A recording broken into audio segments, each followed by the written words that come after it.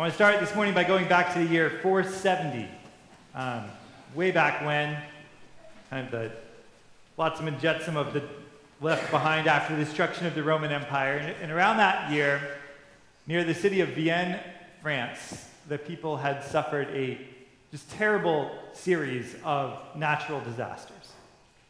And uh, the archbishop at the time, Archbishop Mamertus, um, he did what any self respecting archbishop named Mamertus would do, and he called a fast. And then he ordered that the people, they go march around the fields and they say special prayers and litanies for God's protection and for blessings upon the crops that they had just planted.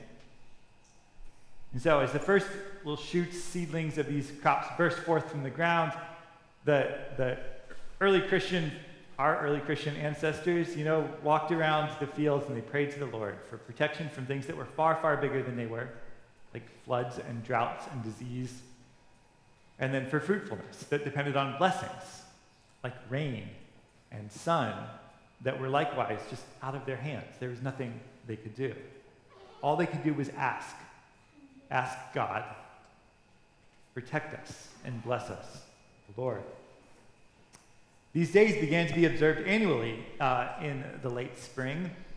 Uh, they took their name from the gospel that was appointed for the sixth Sunday of Easter at the time, um, which was not the gospel we just read, uh, but was from the, John 16, the next chapter, where Jesus says, Ask the Father anything in my name, and it will be given to you.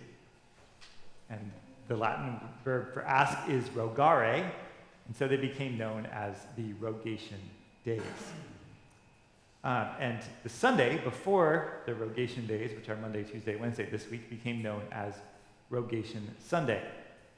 Many churches, including ours, don't observe this every year or annually, um, but we're observing it today, um, setting aside this day in the liturgy, as you'll see as we go forward in the liturgy, in, in various points, in various ways um, asking God for fruitfulness or protection. Um, there's still, of course, much we cannot control about our lives. Um, it, we remember, though, He's got the whole world in His hands. It, it, we have gotten better in the last 1600 years at controlling things, you know? Uh, our sense of contingency on the natural world, particularly for those of us who live in like urban or suburban environments uh, is much lower than if you were like a peasant in whoever was controlling Vienne, France in the 470, you know? Um, we have irrigation, we have flood control, we have pesticides, we have fertilizers, we have refrigeration. Like, we can go to the grocery store and we don't even think about what the climate was that produced all the stuff in there, you know? But there is actually still much we cannot control. Uh, the devastating scenes of the tornadoes in southern Oklahoma last week reminded us of that. We still need God's protection and blessings. When the rain hit your house at like 10:30 last night, how many of you wondered if it was hail? You're like, not much we can do about it. In fact, we need to, to do this thing on Rogation Sunday, this thing where we ask God, or we turn to God, even more so in a way than our ancestors did, precisely because we are so far from the agricultural world we depend on. We're so good at taking care of things as a society. We especially need to remind ourselves that everything we enjoy is ultimately a blessing from the Lord. This was brought home to me last week when, due to the vagary of our family schedule, Drew, who is our eight year old, Drew and I ended up at dinner um, alone, just the two of us, at a Mexican restaurant. And over Mexican food, and by Mexican food, of course, I mean chicken strips and french fries that he ordered at a Mexican food restaurant. Over Mexican food, uh, we had a long conversation about how all of our food comes ultimately from plants, and plants get their energy from the sun. And this was shocking. He refused to believe this fact. There was a lot to convince him about. Like, what about beans? Like, beans look like rocks. I'm like, yes, they do look like rocks, but they are not rocks, actually. They are plants, believe it or not. And he's like, all right, well, what about animals that eat other animals? That's a good point. But do you know what those other animals eat? Plants. Finally, by the time we paid the check, I had him convinced everything comes from the sun. And you know, there's not much we can do to affect the sun one way or another.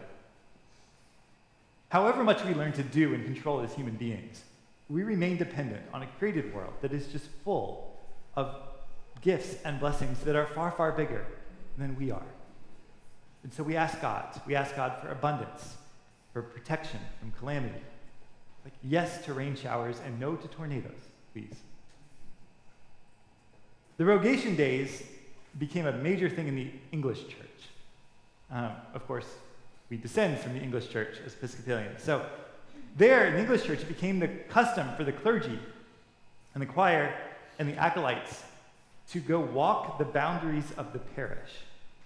And I don't mean like the boundaries of the parish. It's like we're going to gonna march you outside and make you walk the burn. The parish in England was like, like it is in Louisiana. Right? It was like a civil unit as well as a, as a church unit. They go walk the boundaries of the whole region. Everyone lived in a parish, whether or not they went to church, and you walk the boundaries of the whole thing. And they would take the sticks, like I talked about with the kids, and they would go beat the boundaries of the parish as they walked.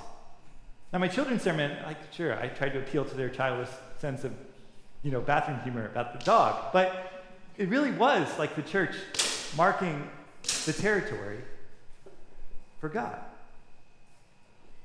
The idea, though, was that it was not the church's territory, but God's territory. All of it. Everything that went on in there. The blacksmith shop, right? The marketplace.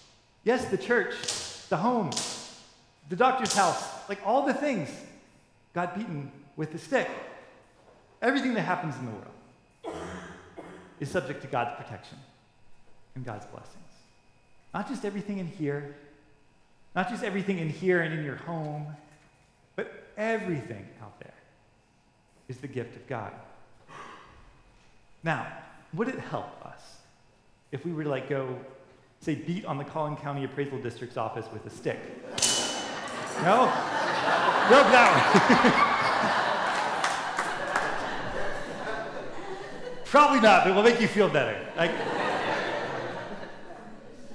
it is helpful I think still to remember that the land we own and pay taxes on is God's blessing. The parks, right, where we go watch our kids. Like, yes, the umpire is terrible, but our kids are healthy and they're playing and the weather is comfortable. Like, the hospital. God is at work there. God does great things there. Like, it could hit, get it, take a hit, just don't hit anybody and send them to the emergency room while you're you know, doing it. Your home, your garden, your lawn, the, the bank, your office, the parking lots. All of this is God's, even the donut shop down there. That donut shop cannot make us donuts for coffee hour here in 45 minutes unless the sun shines on the wheat and the rain falls on the sugar cane. Like we can spare the rods, We probably should at this point. Done enough damage. but don't spare the prayer. You know, Lord, help us. Bless us. Protect us. And the natural world is not the only world, not the only set of forces that are just far, far bigger enough than us that we need God's protection and blessing in. Our social world is also far, far bigger than we are. And this may sound counterintuitive at first because the social world is people, right? We are people. How can that be beyond us? But like, think about it for a moment, individually at least. The historical and cultural terrain on which we live is as much in our control as where the high places and the creek beds are in our city. So we ask God. We ask God for protection from violence, from hatred, from addiction, from illness, from war. And also, we ask for God's blessings. Rogation Day isn't just about God's protection from the calamities, but also God's blessings upon our fruitfulness. This is where we get to Jesus in the gospel, who commands us. He says, I have appointed you to go and bear fruit, fruit that will last. So, in this world in which we've been planted, what do we need to bear fruit? Like Rogation Sunday, it started asking God for fruitfulness for the crops. And we know that to bear fruit, crops need protection and they need blessings that we cannot provide soil, sun, and rain. They need the gifts of God. So, what is the soil and the sun and the rain that we need to bear fruit in the world? The thing Jesus is talking about. And the seemingly obvious answer, particularly the way our readings from 1 John and John put it, is love. I am giving you this commandment that you love one another, Jesus says. But our loves, such as we have them on our own, our desires, our feelings, our affections, they are not enough on their own. C.S. Lewis, in his book, The Four Loves, which we've been looking at this Eastertide, he writes this about our sort of natural loves. He says, When God planted the gardens of our nature and caused flowering, fruiting loves to grow there, he set our will to, Lewis's dress, but he set our will to prune them. And unless his grace comes down like rain and sunshine, we shall work that garden to little purpose, especially now that we are fallen and the soil has gone sour and the worst weeds seem to thrive the best. What Lewis is saying is that to use our loves in the world, to produce fruit, God's fruit, fruit that will last, we need God's grace in our lives. We need to ask God for God's grace in our lives. Our calling to ask God to pour his love into our hearts so that the power of his righteousness and goodness will work on us. Just the way the plants need the sun and the rain, we need God's grace and love. We are no more capable of producing God's fruit ourselves than we are of changing the weather by ourselves. We depend on God. To say that righteousness is beyond us is to say that sunshine is beyond us.